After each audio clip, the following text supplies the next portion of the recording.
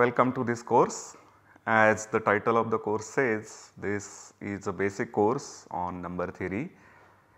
So, number theory is really the study of positive integers or what are also called as natural numbers. So, these are the numbers 1, 2, 3, 4 and so on. So, number theory deals with properties of these natural numbers and you may perhaps not trust me, but some of these properties can be so difficult that we need to use techniques from various other parts of mathematics.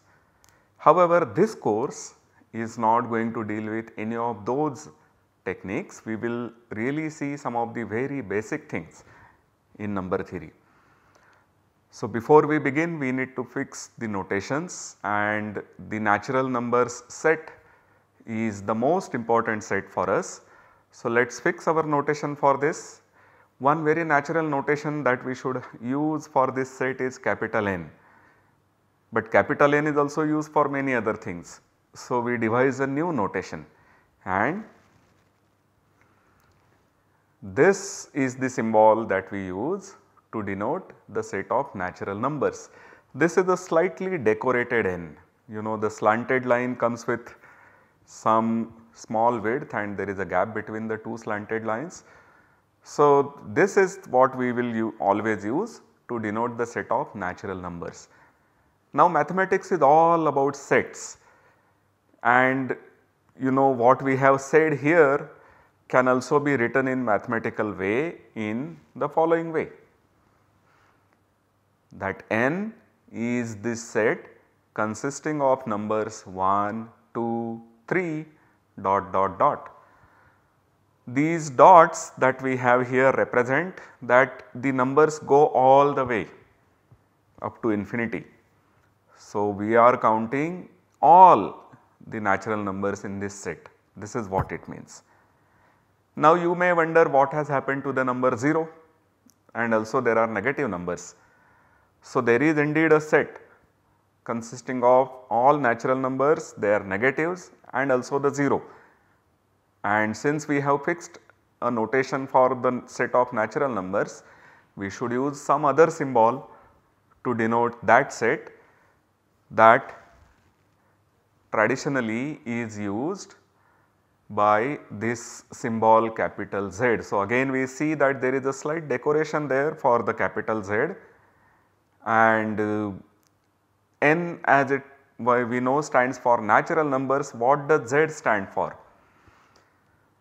So, in German whole numbers or complete numbers those which are not fractions they are called Zahlen. The spelling is Z A H L E N that is the plural. So, Z comes from that Zahlen. Okay. So, we have two sets now here we have the set of natural numbers which is 1, 2, 3 onwards and we have the set of whole integers or the all integers z which comes from negative infinity then you have minus 3, minus 2, minus 1, 0, 1, 2, 3 and then you go on. So, it goes to infinity in both the directions. Now mathematics is really the study of sets with various structures put on them. So what are these structures that we can put on these two sets? You will observe quite easily that we have addition defined on both these sets. You may take two natural numbers, add them, you get one more natural number. If you have 3 apples and your friend has 2 apples, then in all you have 5 apples. Or if your sister has 3 bananas and you have 2 oranges, in all you are going to have 5 fruits. So 3 plus 2 is 5 that is the addition on natural numbers. There is a similar addition on the set Z if you add 0 to any natural number or to any negative of a natural number you get that number either the natural number or its negative. If you add a negative number to a natural number then you get the difference of those two natural numbers. So, if you have A and you add minus b where b is another natural number, you are going to get a minus b which could be positive, it could be negative or it could also be 0. But you have these operations that you can add 2 elements of n get one more element of n or you add 2 elements of z and get yet another element of z. There is also the product structure. You can take 2 natural numbers, multiply them and get one more natural number. If your class has 20 students and each of them is given 30 rupees, then the whole class will have 20 into 30 rupees. I will let you figure out that product. Similarly, we have the product structure on the set Z. So, what it means is the following line. These two sets n and z are equipped with addition and multiplication. One nice thing about z is that you can subtract. If I wanted to subtract 3 from 2, I will get minus 1 which is yet another element in z. Can we do that for n? That is something that would be the most natural question that we would have. Do the reverse operations exist? Or more precisely can we subtract and divide within the set n. What I mean to say is that if I take two natural numbers a and b, do I get a minus b which we know is a number in z, do I get a minus b in n and if I have a number a, a natural number a and another natural number b, is a by b a natural number? So, there are two questions here really, let us tackle them one by one. We first go to a minus b, can we do that? Not always, in fact the answer not always holds for both of these uh, questions. However, you can still salvage the situation sometimes it is possible right. However, it is sometimes possible to get the difference A minus B in n. For instance, if you take the current Gregorian year 2020 and subtract the year of your birth say 1999 that will give you 21. So, 2020 which is a natural number minus 1999 which is another natural number their difference is yet another natural number. So, it is indeed sometimes possible to have a natural number A and another natural number B such that A minus B is also a natural number. So, you would say of course this is quite natural because 2020 is bigger than 1999 or you will say that 1999 is smaller than 2020. But bigger or smaller that is not a well defined concept for us yet we have not talked about what it means to say that a natural number is bigger than another natural number. What we have done until now if you have been following the lecture from the beginning then we had n and z we talked about two sets and we talked about the addition and the multiplication on them. And now we have this possibility that given a natural number A and given another natural number B, you may have that A minus B is also a natural number. Then let us use this and define our relation of something big, uh, being bigger than or smaller than another number. Let us use this very definition. So, if you have A and B such that A minus B is natural then we say that A is bigger than B or you may say that B is less than A. So, let us have this as our definition. If you can subtract a, a natural number which we have taken here to be b from another natural number a and remain in the set of natural numbers, then we say that a is bigger than b or we will say that b is less than a. So, using this definition we see easily that 1999 is smaller than 2020 or 2020 is bigger than 1999. Okay, so this is a relation on the natural numbers. This is called order relation and this order relation is a fantastic relation. Thing is given any two natural numbers there is always some relation. This is what is called trichotomy. If you have any two natural numbers a, b you will either have that A is equal to B because remember Z is equipped with subtraction you can subtract any element of Z from any other element of Z which means that if you take two elements from n two natural numbers then their difference can either be a natural number, it can be negative of a natural number or it can be 0. It may happen that you take two elements to be the same. You may take 600 and you may subtract 20 into 30 from 600. So, this is a trichotomy. Trichotomy says that there are only these three possibilities. These three relations, these three types of relations exhaust all pairs of natural numbers. So, let us read it again. Whenever we have A and B, any two natural numbers, you will either have that A is equal to B, A is bigger than B or A is smaller than B. Again you may think that this is quite obvious, indeed it is very obvious by what we have developed the things so far. Okay, so the order relation satisfies some very basic properties. You know we have the addition and we also have the product on the set of natural numbers and now we have the order relation. Is there any correlation between these concepts that we have defined? There are and those are very easy to state and indeed also very easy to prove. So, this relation order relation satisfies some very basic properties. What does the first one say?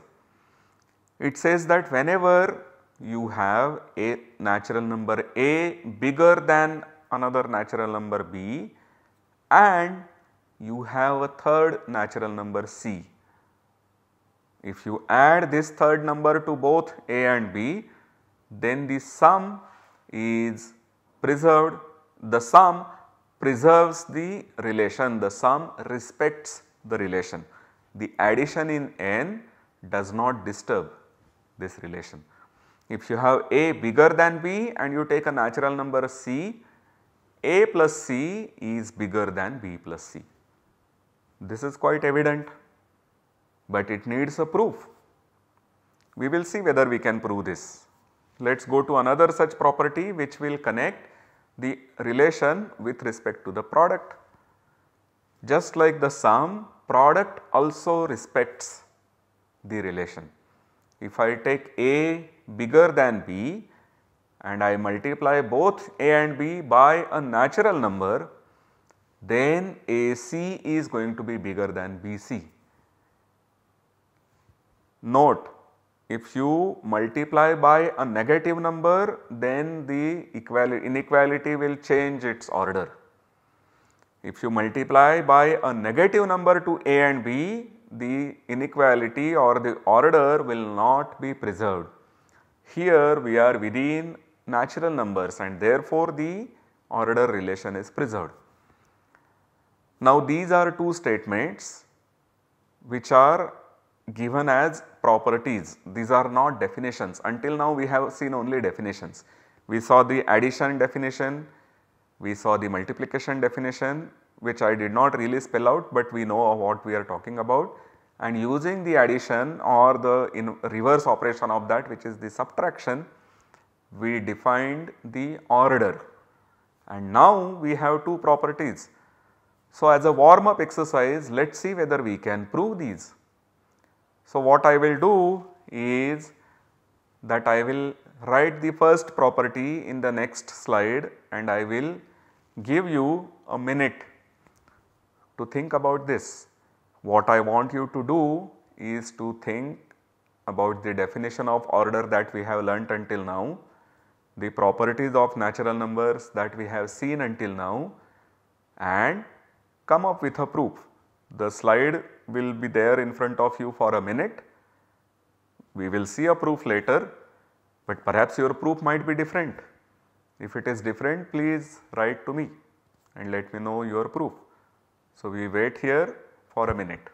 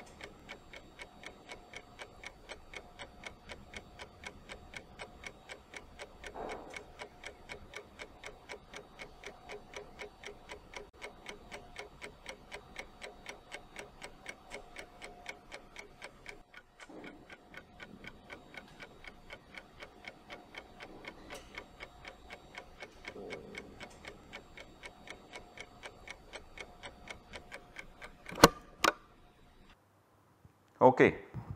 So, now that you have had your time playing with the proof, let me give you one proof. So, I will write this proof on this slide. So, we begin with the proof.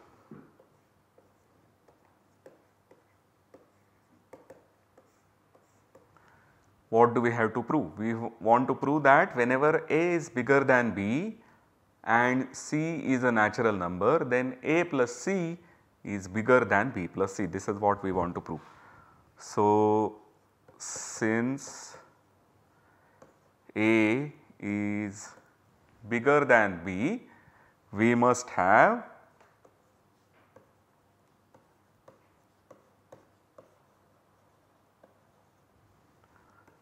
that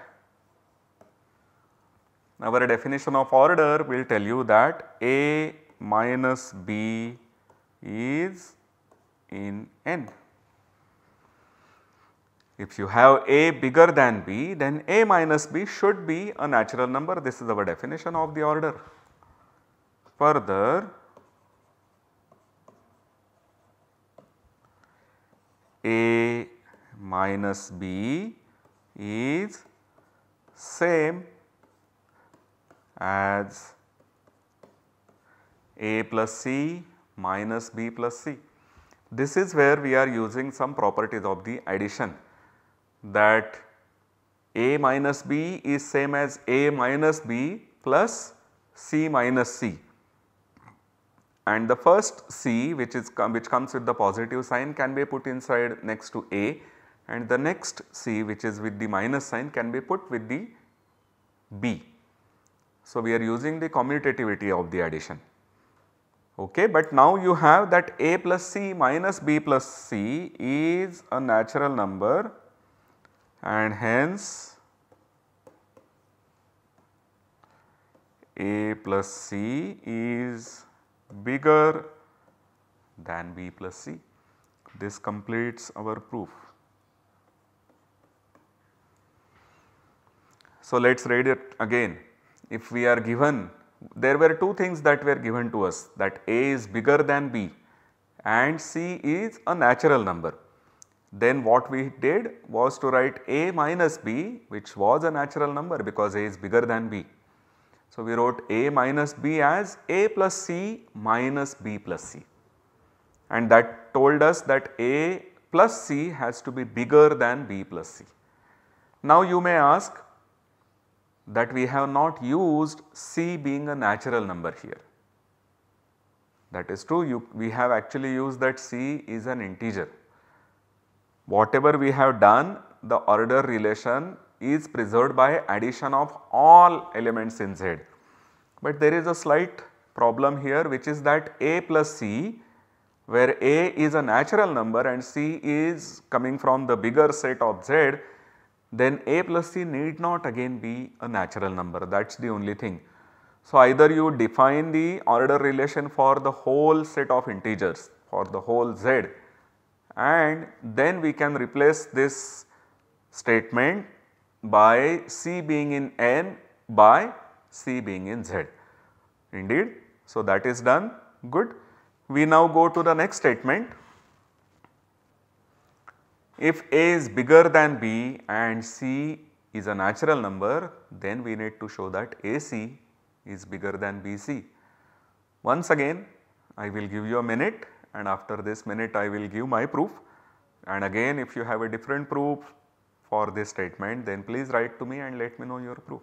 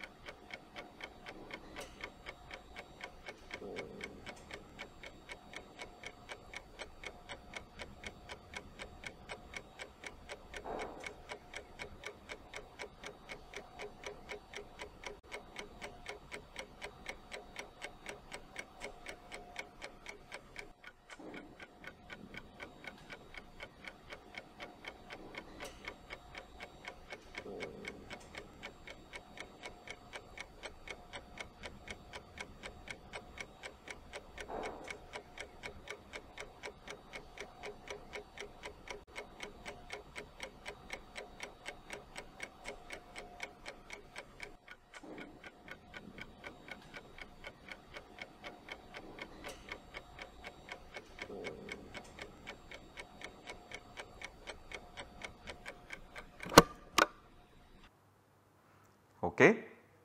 So, we will now begin proving this statement. I will give you my proof. The proof is as follows.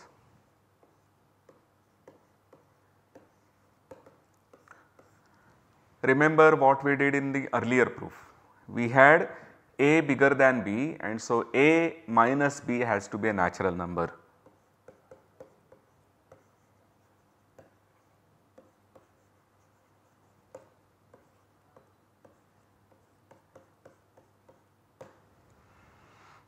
Now C is another natural number and natural numbers come equipped with product.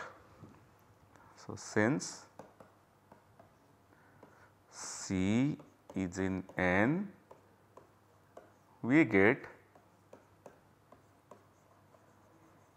that A minus B into C is an element in N but A minus B into C which is the same as AC minus BC. But if you have AC minus BC a natural number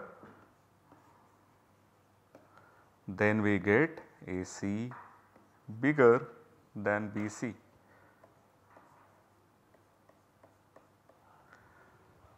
So, you see this proof was also not quite difficult all we needed to do was use the properties of natural numbers. So, if you have a minus b a natural number and another natural number c then the product is a natural number that is the only thing we have used here.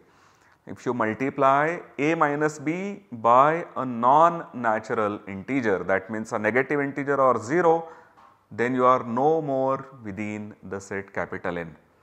You go outside the set capital N and therefore the inequality may be reversed if you multiply by a negative number or the inequality may turn into equality if you multiply by 0. You know you can have 2020 and the another number can be 1, 2020 is much bigger than 1, 2020 is certainly bigger than 1 but if you multiply both the numbers by 0 you get only 0. So, when we go outside the set of natural numbers then we have to be careful with respect to the order relation. So, let us just repeat we have thus proved that when you have A and b two natural numbers and a is bigger than b, then this order relation is preserved, it is respected by both addition and product within the set of natural numbers. This was about the subtraction which is the reverse operation of addition. Now we go to the another operation that we had on n namely the product and let us ask whether the reverse operation exists.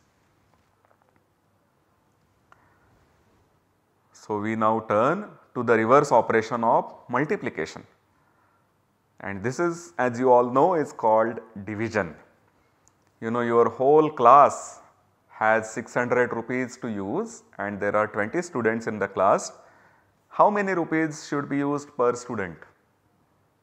That would be 600 divided by 20 which is a number reasonable number 30 you can use it for every student. But you may have say 485 rupees and you have 20 students. How would you do it now? You can't of course convert everything to paise, the rupees you know 1 rupee is 100 paise. You can't convert everything to paise and then use the division. So, we want to be within the natural numbers and try to see when some natural number divides another natural number. So, let us see what we get with respect to this.